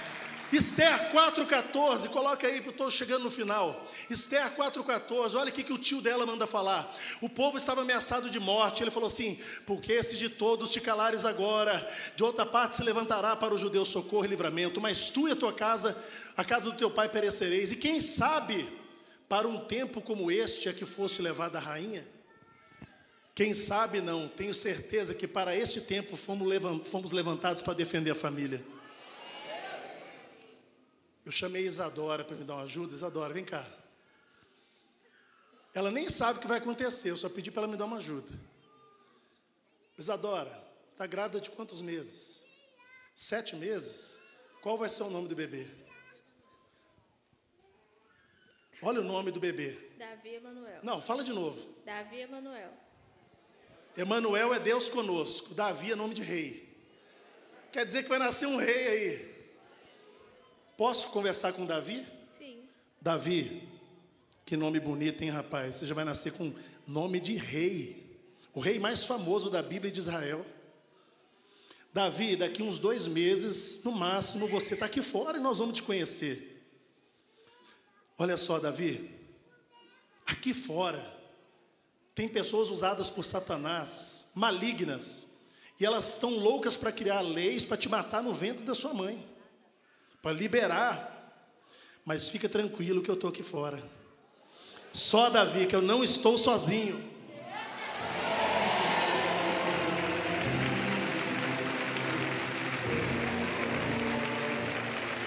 Ó, quer ver uma coisa? Quer ver uma coisa? Eu vou gritar aborto, eu tenho certeza que você vai gritar não, né? Quer dizer que se é autorizado aborto, tinha que autorizar assassinar qualquer pessoa, porque é um assassinato. Aborto? Aborto? Não. Agora você vai gritar aborto, eu respondo, vai. Aborto. Não. Aborto. Não. Olha só, o meu não foi bem mais baixo que o seu, vocês ganharam. Mas o não de vocês nunca chega em Brasília. O não de vocês nunca chega na Assembleia. Mas o meu não é ouvido lá. Do Leandro é ouvido lá. Mas sabe por quê? Antes de você louvar o Senhor, peraí, olha, olha só. Sabe por que, que o meu não vale alguma coisa lá? Porque o seu não me autorizou a ser não lá. Que Deus abençoe a sua vida. Nós vamos continuar Há 40 anos você tem voz no parlamento. Há 40 anos você não perde a sua voz. Obrigado, Isadora. Davi Manuel, seja abençoado em nome de Jesus. Fique de pé no seu lugar, aplaudindo a Jesus bem forte. Glória a Deus.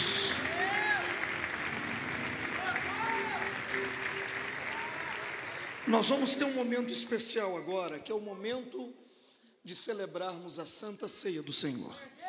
Quantos estão aqui em unidade? Levante a sua mão, por favor. Mas eu vejo que o momento, eu não sei se eu vou quebrar o protocolo, mas eu vejo que o momento é de nós orarmos pelos nossos missionários. Sabe por quê? Antes de celebrarmos a ceia, porque a Santa Ceia, disse Jesus, é um pacto que fazemos. Ele disse assim que nós deveríamos celebrá-la até que ele voltasse, em memória dele, até que ele voltasse. Toda Santa Ceia é renovação de voto. Diga para quem está ao seu lado: toda Santa Ceia, nós renovamos os nossos votos. Amém? E eu gostaria muito, eu, quando o Stefano, o pastor Stefano estava dizendo que é, antigamente o, o profeta Samuel foi ungir a Davi como rei, e hoje é nós que ungimos, sim ou não? Eu gostaria de, porque eu, eu acredito muito que tudo começa com uma unção. Quem acredita nisso? E o propósito de Deus na vida desses homens é maior do que, o nós, do que aquilo que estamos vendo até agora. Estenda as mãos para eles e diga assim: o propósito de Deus na vida de vocês é maior do que aquilo que estamos vendo até agora. É só o começo. Eu gostaria que vocês viessem aqui, por favor. Peguem o óleo para mim de unção. Eu sei que todo mundo gostaria de segurar essa essa esse vaso de unção. Mas vocês podem estender a mão para cá e me ajudar a ungí-los. E aquilo que vamos fazer agora, vamos confirmar dia 2 de outubro. Quando a gente for lá na, na, na, na, na sessão eleitoral, você vai lembrar desse dia e dessa santa ceia e daquilo que você está fazendo agora. Estenda as mãos para cá. Um dia, Senhor Deus, o sacerdote, o profeta Samuel, foi chamado pelo Senhor para ungir um rei. E naquele dia ele saiu e foi até Belém. E lá havia muitos homens que pareciam até aparentemente melhores. Mas o Senhor disse: Eu não vejo a aparência, eu vejo as intenções do coração. e o Senhor separou esses homens por causa do coração. Você pode dar glória a Deus aí? Eu estou sentindo Deus aqui, gente. Se você sente, vai dando glória a Deus. O Senhor separou esses homens por causa do propósito que habita no coração deles. E o propósito não é dinheiro, meu Pai. O Senhor já prosperou eles na vida. Eles não precisam disso. Eles estão lá, meu Deus, por um propósito muito maior. E a igreja de Lafayette, representando a igreja de Minas Gerais, unge agora, meu Deus, deputado Stefano Aguiar, deputado federal, meu Deus, ela unge Leandro Genaro, deputado estadual, não, meu Deus, na força do homem, mas no poder da tua unção que está aqui e através deles essa nação vai ser curada. Não só eles, mas muitos iguais a eles se levantarão em toda parte no Rio Grande do Sul, em toda parte, meu Pai, em cada estado, homens se levantarão para fazer isso. Quero pedir os pastores que subam aqui correndo, subam aqui correndo, os pastores titulares. Levanta a mão para esse óleo e diga: Meu Deus, nós consagramos agora esse santo óleo, e com eles nós ungimos agora os nossos reis, aqueles que vão governar sobre nós, e te pedimos, confirma isso no dia 2 de outubro. Eu vou pedir os pastores para colocar aqui a mão no óleo, o dedinho, por favor. Vai dando glória a Deus.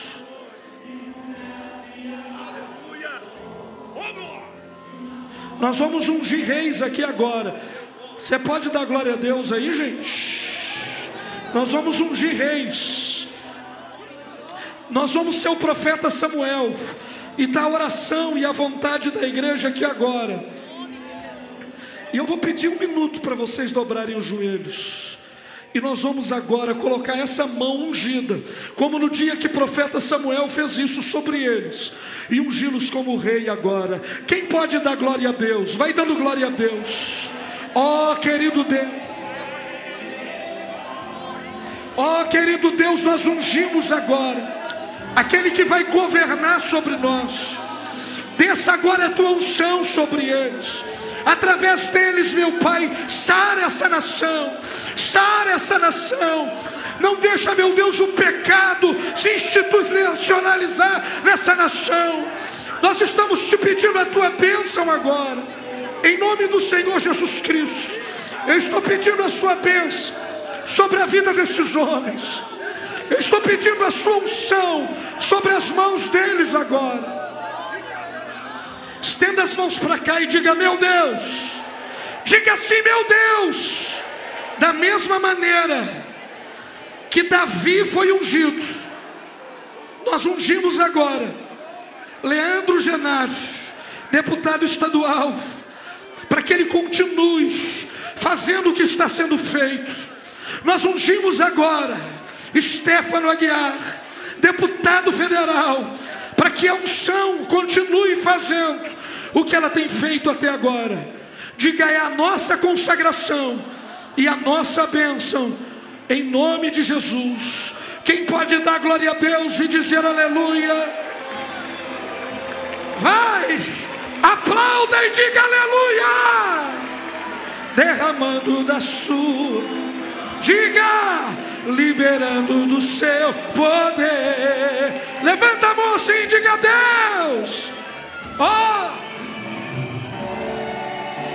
Sara essa nação com seu poder, com seu poder, com óleo, com óleo da sua é com unção que Deus sara, é com a unção que Deus cura, é na unção que Deus renova. Oh, o seu poder, com o óleo da sua unção.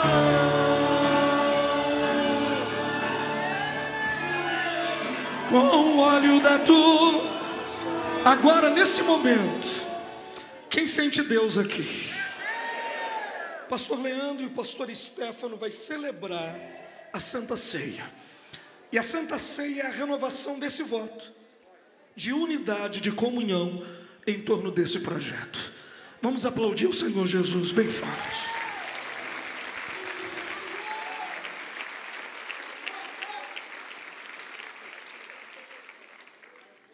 Glória a Deus. 1 Coríntios, capítulo 11, no versículo 23, a Bíblia diz: Porque eu recebi do Senhor, que também vos entreguei. Que o Senhor Jesus, na noite em que foi traído, tomou o pão e, tendo dado graças, o partiu e disse: Isto é o meu corpo, que é dado por vós. Fazer isto em memória de mim. Por semelhante modo, depois de haver ceado, tomou também o cálice, dizendo: Este cálice é a nova aliança no meu sangue. Fazer isto todas as vezes que o beberdes em memória de mim. Porque todas as vezes que comerdes este pão e beberdes o cálice, anunciais a morte do Senhor até que ele venha. Eu quero fazer um breve comentário. É interessante Paulo dizer que a ceia é o anúncio da morte. Porque, e principalmente para nós aqui brasileiros, latinos, a morte é encarada de uma maneira muito negativa sempre, não é? Ainda mais aquela morte, morte de cruz, morte maldita. Mas por que que a ceia anuncia a morte? É porque é na morte de Jesus que nós somos resgatados. É na morte de Jesus que a vida nos alcança. É na morte de Jesus que nós somos reconciliados com o Pai. Por isso, nós anunciamos a morte, sim mas anunciamos a morte daquele que vive. Anunciamos a morte daquele que a própria morte não pode, não pode conter. Anunciamos a morte daquele que está à direita do Pai. E anunciamos a morte, como disse Paulo, do Senhor, até que ele venha. Porque, do mesmo modo que ele subiu aos céus, ele voltará para levar consigo a sua igreja. Quem é que vai subir com Jesus aí? Quem é que vai subir com Jesus aí?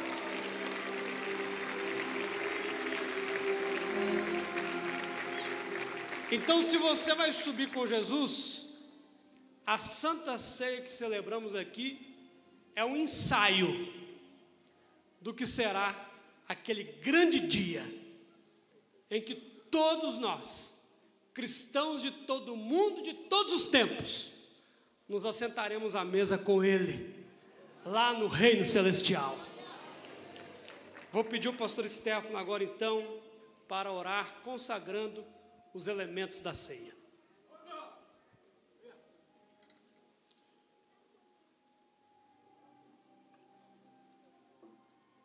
Senhor Deus e Pai, nós agora te apresentamos essa partícula de pão,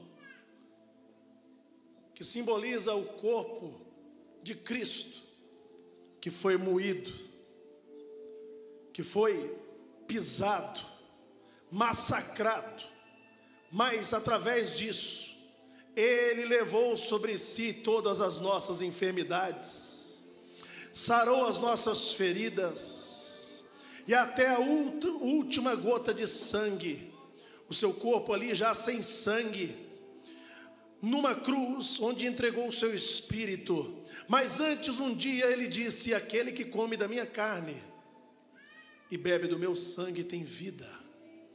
Esse tem parte comigo. Nós vamos celebrar este momento e o teu mandamento, fazer isto em memória de mim.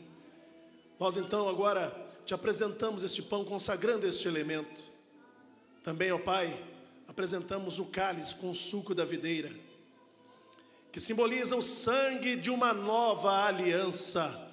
Uma aliança que não terá fim, uma aliança que nos resgata da morte, pois tu vestiste roupa de morte para que tivéssemos vida, foi maldito para que fôssemos abençoados.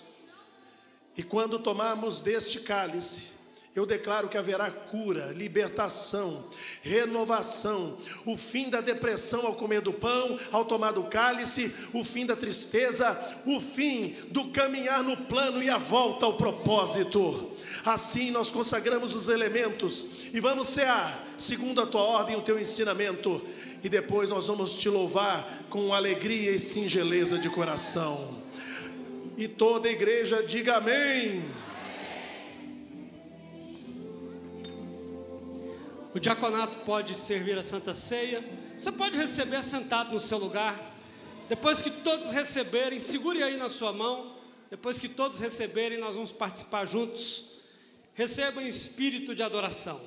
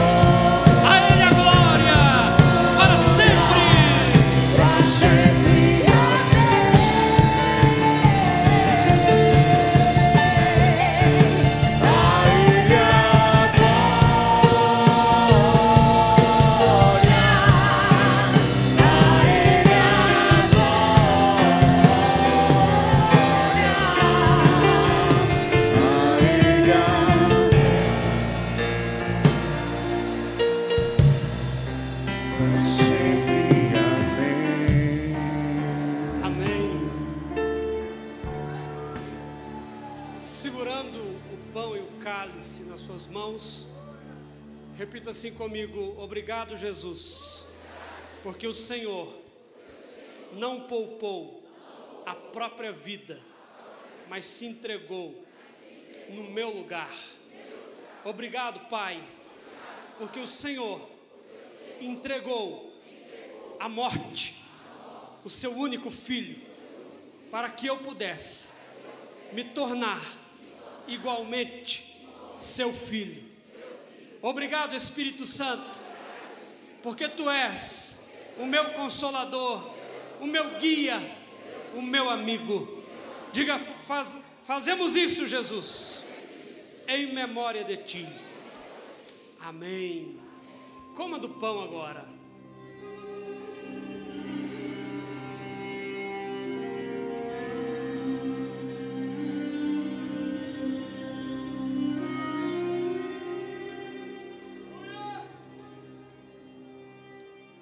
Se você quiser, eu vou fazer isso aqui com o pastor Stefano, você fica à vontade. Se você quiser, como a ceia é um momento de comunhão, um, um momento de comunhão vertical e horizontal, né? com o céu e com a igreja. Você pode trocar o cálice com alguém e dizer assim: Eu tenho comunhão contigo. Pode tomar o cálice.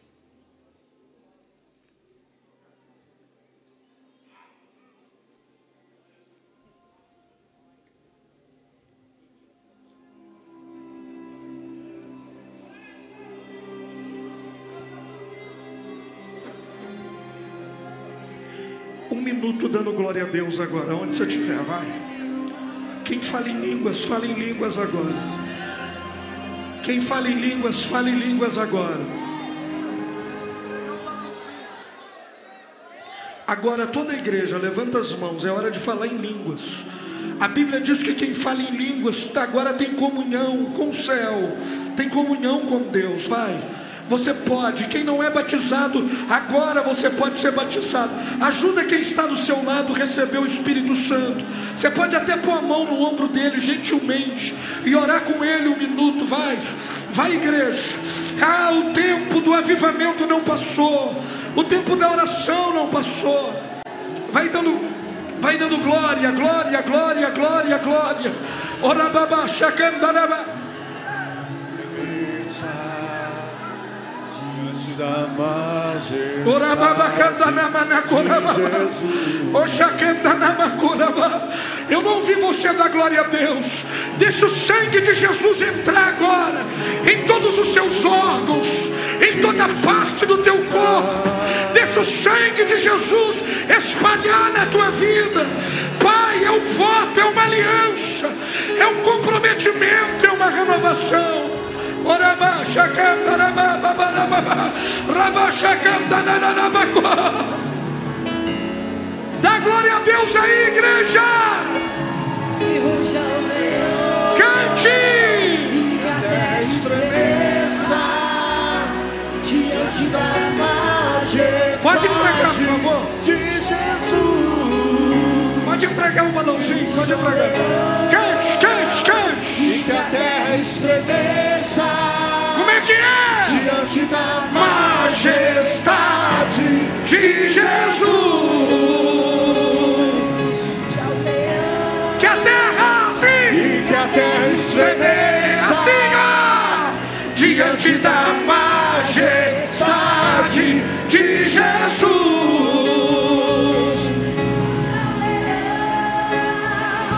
que a terra estremeça diante da majestade de Jesus. Cadê os gritos de glória? Aleluia! Rabachacandaraba! Aleluia!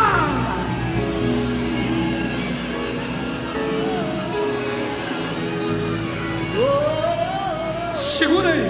Quem recebeu um balãozinho? Pega ele aí na mão. Cadê o do altar? Já entregou aqui? O altar é o primeiro, filho. Pega, ó. Pega ele aí. Pegou, faz assim. É, eu tenho medo de soprar e desmaiar. Você já viu que tem gente que sopra, fica tonto. Presta atenção, sopra, deixa eu ver uma coisa.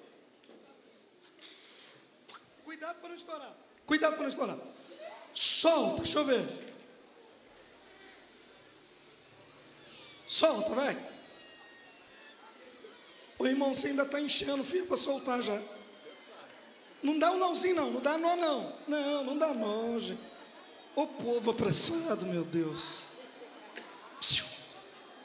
Ih, vai fazer bagunça. Vai fazer bagunça. Solta esse negócio de uma vez, meu filho.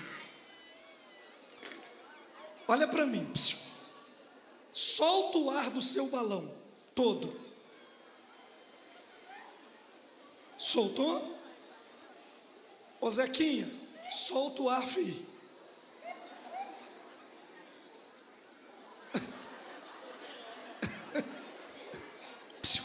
Quem está aí? Quem está ligado? Olha para mim. Não, não, não, agora para, pelo amor de Deus.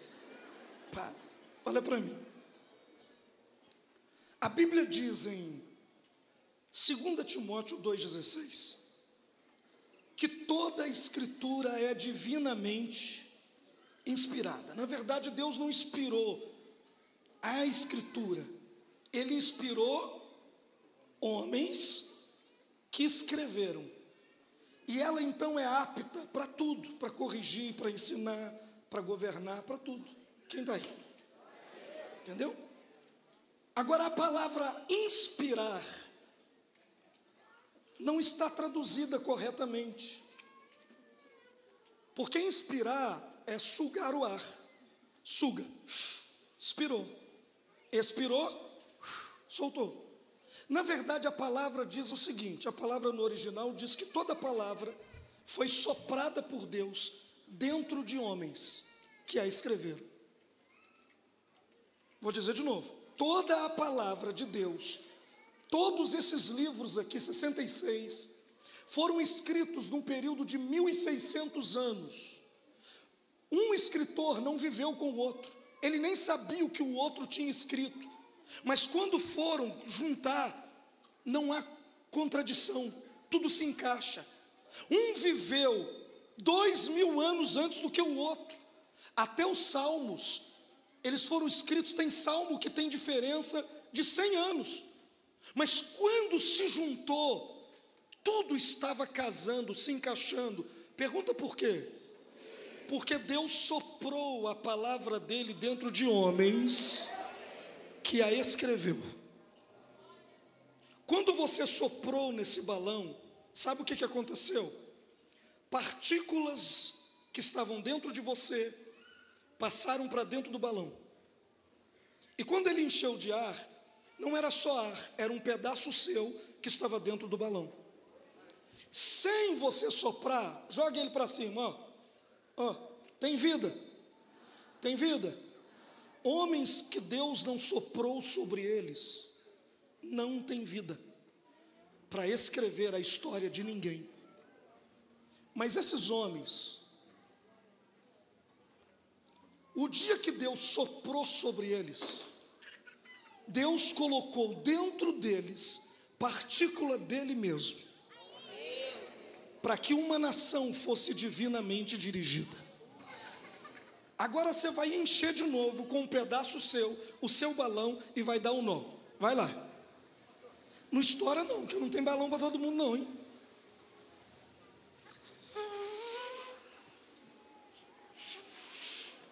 Estou ficando tonto.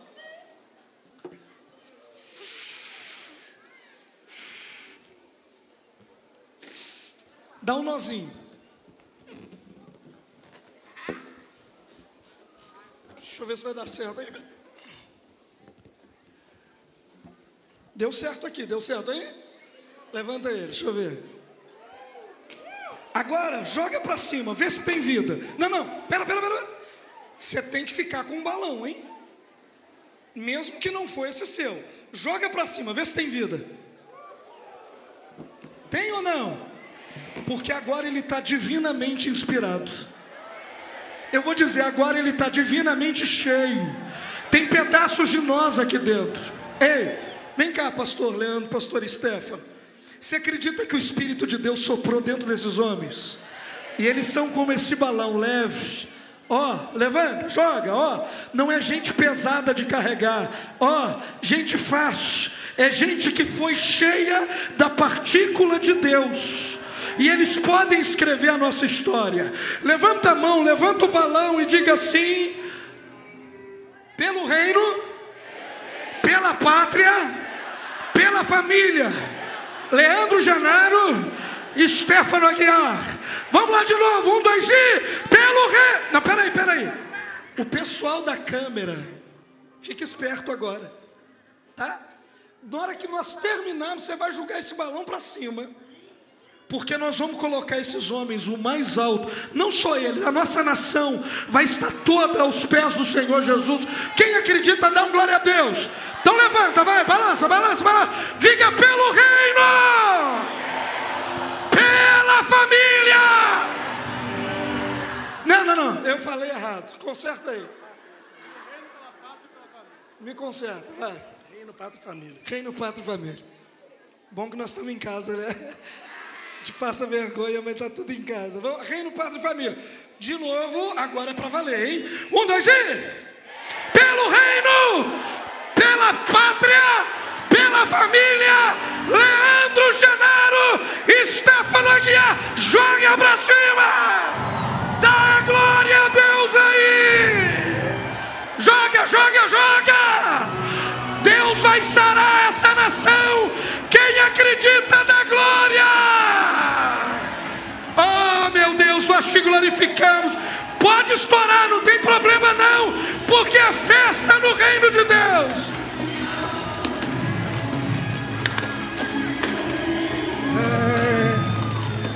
Nossa festa no nosso Deus.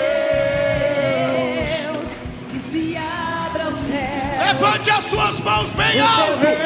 Que o amor de Deus, o Pai, nossa a graça de Jesus, o Filho, e a doce consolação do Espírito Santo seja com toda a igreja.